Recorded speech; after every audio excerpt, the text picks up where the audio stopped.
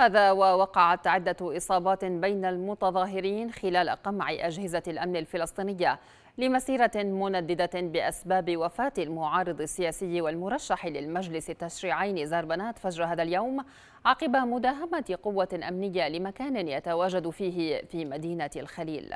نشطاء فلسطينيون وعرب نعوا الناشط السياسي زربنات عقب ما وصفوه بجريمة اغتياله. على يد الأجهزة الأمنية من مكان سكنه في بلدة دورة جنوب مدينة الخليل جنوبي الضفة الغربية المحتلة.